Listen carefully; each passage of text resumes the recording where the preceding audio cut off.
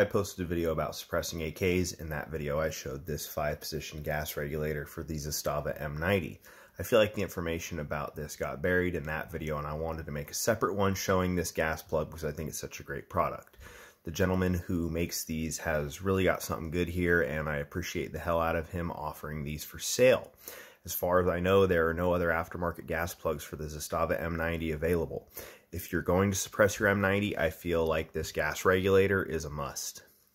The guy who makes these knows I am mentioning his product in my videos, but other than that, I bought one like anyone else would. I was not compensated in any way to make this video. I'm just stoked on it and want to make other people aware of it so they can dial in their M90 for suppressor use. This Zastava M90 comes with an adjustable gas regulator out of the box, but the lowest gas setting on it still cycles my lowest power 223 ammo. So it's too much with a suppressor. I shot it suppressed on the normal gas setting to confirm this, and it functioned reliably, but it was over gas just like I thought it would be. It was sending the empties about 20 or 25 feet away. So let's take a close look at this five position gas regulator. The guy's Reddit username is Yamaha Warrior 89. I saw his post on the Zastava Arms subreddit and sent him a DM to buy one. It only costs $90. The machine quality is top notch, and the positions have laser engraved numbers.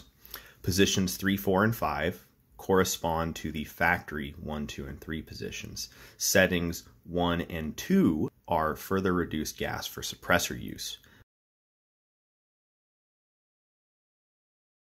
First, I tried 223 ammo on gas setting 2, the higher gas suppressor setting, and it wouldn't quite cycle reliably.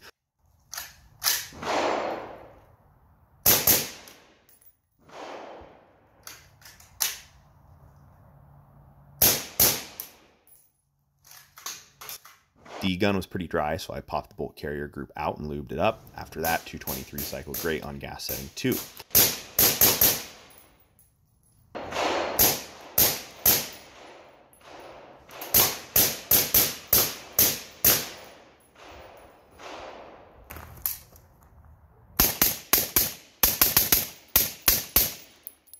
I confirmed that 223 wouldn't cycle on gas setting 1. That just turned it into a single shot.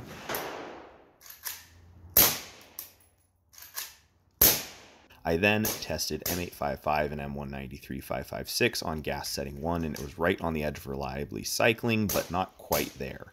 Gas setting 2 works great for 223 and 556 with this suppressor. I only have 250 to 300 rounds through this, so maybe once it gets worn in a bit more, it will cycle 556 on gas setting 1. Maybe that setting would be for higher back pressure cans or hotter ammo than I have.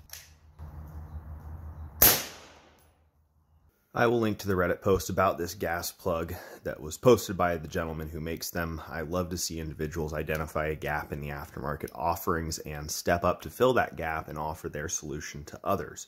I try to support people who do stuff like this as much as possible, and I would encourage you to do the same. I will reiterate, none of my 223 or 556 ammo would cycle on gas setting 1 or 2 without the suppressor. So if you're not going to be suppressing your M90, this gas plug won't do anything for you. But if you are suppressing your M90, I feel like this regulator is a must-have upgrade. Before ending this video, I wanted to mention changing the gas setting on the M90. So when you lock this lever down to lock your gas tube into place, it pushes it forward into the gas regulator plug, and then that gets pushed forward into the gas block if you try to adjust this gas plug and turn it while this lever is locked, uh, you're going to have a lot of trouble, and that's not the correct way to go about it. On new rifles, this lever is very stiff. I can just barely undo it, but you can see the gas tube is loose now. If you can't get this lever undone by hand, pull your bolt carrier group and these little slots right here that ride on the rails, you can use that to lever that up out of the way and release it. With this lever released and the uh, bolt carrier group installed so the piston is within the gas tube, you can still see the gas tube is now loose. I'm going to take a little screwdriver, carefully pry up this tab, And now I can turn that gas regulator to the position that I want. I have also seen that these tabs are a little bit fragile. And so prying them up and down repeatedly can make them lose their tension and then your gas position might change on you while you're shooting it. So what I actually recommend, pull your bolt carrier group all the way out, pull your gas tube all the way out, and then you don't have to bend that tab at all. You just stick it in your preferred gas setting and then reinstall it like so. And that, I believe, is the proper way to change the gas setting on the Zastava M90. Make sure at least if you're not pulling the bolt carrier group and gas piston that this lever is loose and your gas tube is loose before trying to adjust this.